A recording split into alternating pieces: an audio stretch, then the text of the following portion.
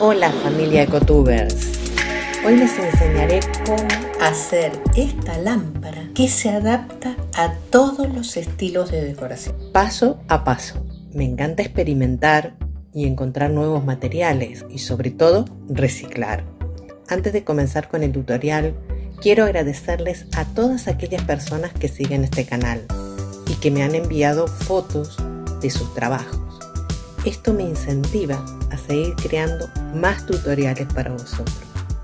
Contamos con diferentes modelos de gemas, algunos de los cuales les enseñaré a crearlos a continuación, ya que es infinita la cantidad de modelos que podemos crear.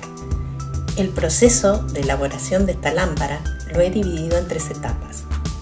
Una es la elaboración de las gemas y la creación de los tres gajos que componen la pantalla es la creación de la peana y 3.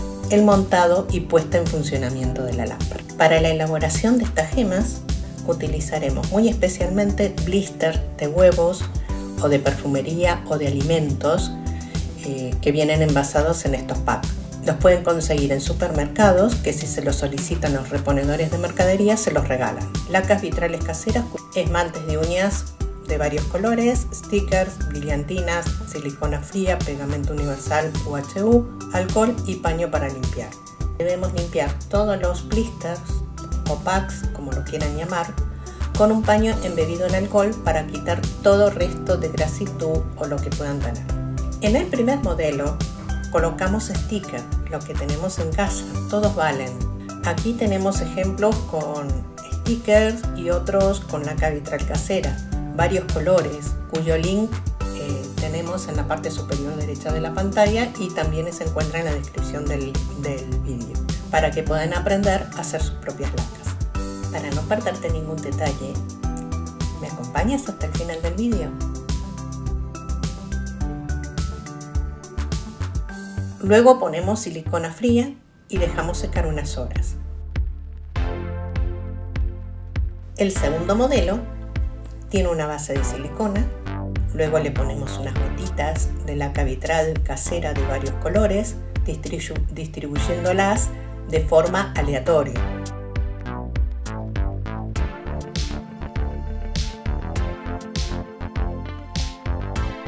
Para terminar la decoración de la gema le ponemos unas gotas de esmalte de uña dorado y finalmente con un palillo movemos para realizar un diseño diferente sin llegar a mezclar demasiado porque no lograríamos el objetivo deseado porque los colores se mezclarían demasiado perderían definición.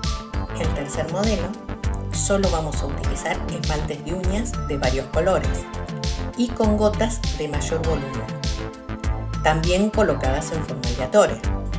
En este proyecto verán una integración de muchas técnicas y conocimientos aprendidos en otros tutoriales del canal. Por eso invito a que se suscriban para no perderse las técnicas, secretos y trucos que les entrego en cada uno de los tutoriales.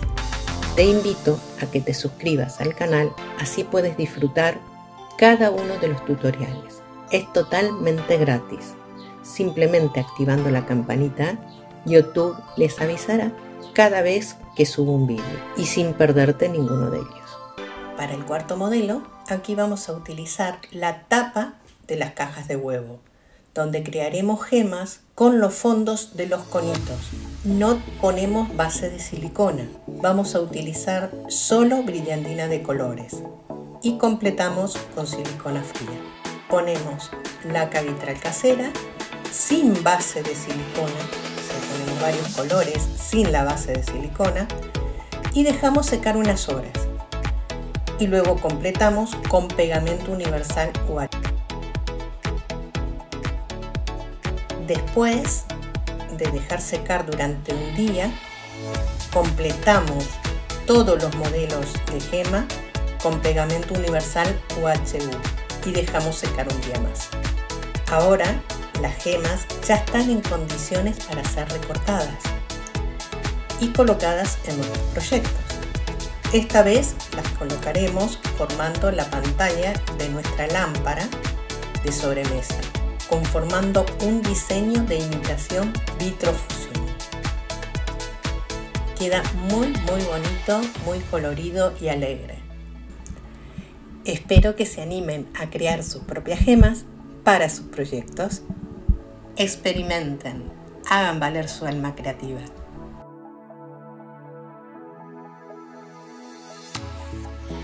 Para los gajos vamos a utilizar una placa de acetato grueso transparente que en este caso procede de una tabla de embutidos curados que hemos comprado en el supermercado. Se limpia bien y le pasamos un paño con alcohol y la dividimos en tres partes. Cada una de las partes tiene 26 por 13 centímetros y sobre la cual vamos a pegar las gemas que hemos creado anteriormente. también utilizaremos gemas creadas reciclando blister de medicamentos, cuyo link encontrarán en la parte superior derecha de la pantalla y en la descripción del vídeo. Hacemos un diseño equilibrado en cuanto a la forma y al diseño y al color. Pegamos estas gemas con silicona fría y luego llenamos todos los huecos entre las gemas con silicona fría y dejamos secar un día. Para la creación de la peana de la lámpara, vamos a necesitar los siguientes materiales. Cartón, reciclando cajas, papel para cartapesta, procede de manuales que vienen en los componentes informáticos, goma laca casera y un kit eléctrico compuesto por portalámpara, lámpara LED, interruptor, ficha o enchufe y cable.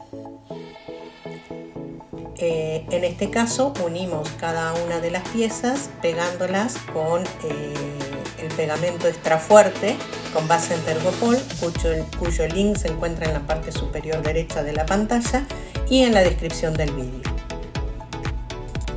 Una vez pegadas las piezas, ajustamos con pinzas para facilitar la, unión durante el secado del pegamento.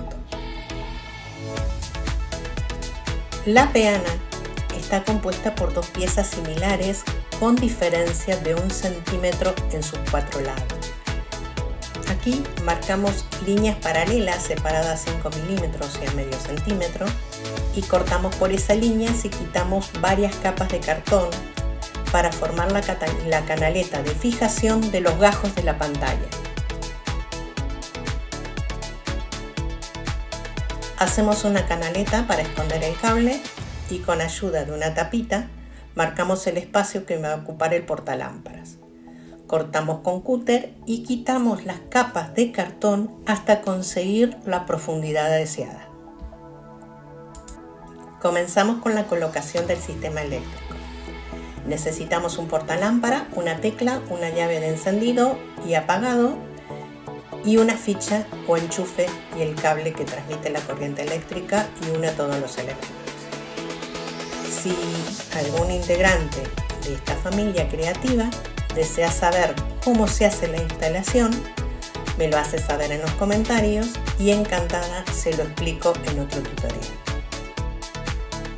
Para hacer la cartapesta vamos a utilizar cola casera, que hemos aprendido a hacerla en los tutoriales anteriores. A esta cola casera le agregamos unas gotas de tinte negro para evitar tener que pintar luego cartapesta, para rigidizar la pieza y hacerla impermeable. Para hacer una verdadera cartapesta empezamos por eh, humedecer el papel previamente. Esto ayuda a una mejor adherencia y que sea más uniforme la superficie. Como ya tenemos el papel humedecido, comenzamos con la, con la cartapesta. Si hacemos una cartapesta bien cargada de pegamento con 2 barra 3 capas de cartapesta, que es suficiente. Dejamos secar dos horas entre capa y capa y finalmente le damos una capa de, de pegamento a modo de protección, conseguiremos que la pieza esté rígida e impermeable. Dejamos secar un día, lijamos suavemente la peana y le damos una capa de goma laca casera para darle un tono negro satinado envejecido y aún proteger más la peana. Para el montado y puesta en funcionamiento de la lámpara, hacemos previamente un premontado para ver si todas las piezas ajustan correctamente. Con silicona caliente de tono negro vamos a pegar cada uno de los gajos a la peana. Espero que pongan en práctica estos conocimientos y hagan su propia lámpara. Y comenten su resultado, ya que de esa forma nos ayudamos mutuamente en nuestros proyectos. Esto es solo una idea, hagan ustedes su propia experiencia con sus proyectos. Experimenten, combinen materiales, colores y hagan valer su alma de artistas.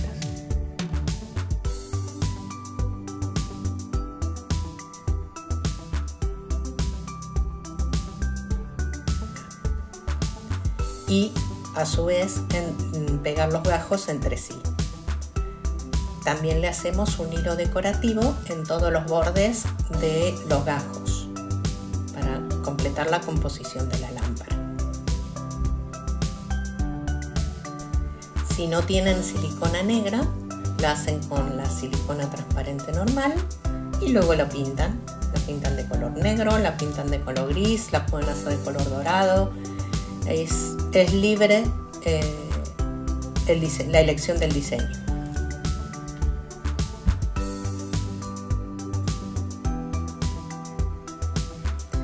Como verán, es preciosa. Quedan las burbujas que genera la silicona fría dando la sensación del acabado de imitación vitrofusión.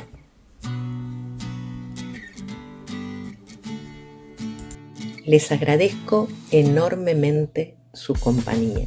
Gracias por llegar hasta el final del video y gracias por ser parte de esta gran familia. Los espero en, los próximos tutoriales donde encontrarán diferentes proyectos. Te invito a que me regales un like y espero tu hermoso comentario y me despido con un beso y un abrazo muy fuerte. Hasta el próximo tutorial.